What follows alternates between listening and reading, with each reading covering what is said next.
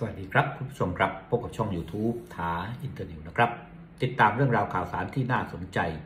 จากกรณีที่อุ้มธีราทรบุญมาทัน แบ็กซ้ายจากสโมสรโยโกฮาม่าเอฟมารินอสทีมในศึกเจลีกของญี่ปุ่นเนี่ยนะฮะ ได้ตัดสินใจถอนตัวออกจากทัพช้างศึกทีมชาติไทยชุดที่เตรียมทำการแข่งขันฟุตบอลโลก ปี 2022 รอบคัดเลือก โซนเอเชียรอบที่ 2 ที่ประเทศสหรัฐอาหรับเอมิเรตส์หรือว่า UAE โดยธีรทรนั้นเนี่ยมีความกังวลต่อสถานการณ์ที่ประเทศญี่ปุ่นมีความเข้มงวดในการป้องกันโควิด -19 และก็กำหนดวันกักตัวไว้ที่ 14 วันทำให้พิจารณาลงเล่นให้ทีมชาติไทยเนี่ยนะฮะมันก็เลยทำให้เป็นไปด้วยความยากลำบาก เนื่องจากถ้ากลับไปยังต้นสังกัดเนี่ยนะครับ ก็ส่งผลกระทบต่อความพร้อมของร่างกาย ในฐานะนักฟุตบอลอาชีพ รวมถึงเนี่ยนะครับ ก็ก่อให้เกิดความเสี่ยง ดังนั้นเนี่ยทางด้านอุ้มธีรทรก็เลยตัดสินใจเนี่ยนะฮะได้ถอนตัวจากทีมชาติในครั้งนี้ สร้างความไม่พอใจให้กับแฟนฟุตบอลจำนวนมากนะครับ พร้อมกับมีการโพสต์ตำหนิถึงการที่เจ้าตัวนั้นถอนทีมชาติออกไป จนกระทั่งเนี่ยนะครับเจ้าอุ้มธีรทรบุญมาทันเนี่ยนะฮะก็เลยต้อง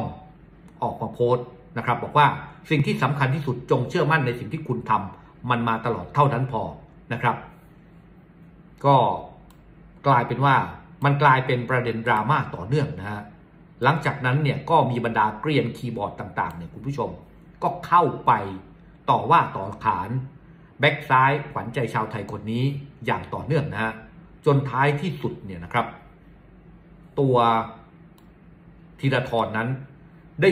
คอมเมนต์ผ่านเพจ Facebook เนี่ยนะบอกว่า กำลังรวบรวมหลักฐานของบรรดาเกรียนคีย์บอร์ดที่ใช้ถ้อยคำไม่เหมาะสม และรุนแรงเกินกว่าเหตุ ซึ่งเมื่อกลับไปไทย จะขอไล่เช็คบิลบุคคลเหล่านั้นอย่างแน่นอน โดยเจ้าอุ้มเนี่ยนะครับ ก็เขียนบอกว่า ผมมีแคปไว้บ้างแล้ว ถามทนายแล้วว่า ฟ้องได้ไหม เขาบอกว่าฟ้องได้ แต่เจ้าตัวต้องไปแจ้งความด้วยตัวเอง เดี๋ยวรอกลับไทยยังเดือดอยู่ตามเช็คตามนั้นครับ นี่ฮะคุณผู้ชมครับ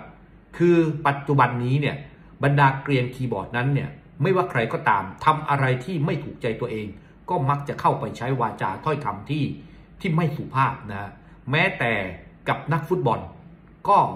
ไปใช้ถ้อยคำวาจาที่ไม่เหมาะสม ซึ่งแต่ละคนนั้นเขาก็มีเหตุผลนะฮะสำหรับอย่างอุ้มธีรทรบุญมาทันเขาก็มีเหตุผลว่า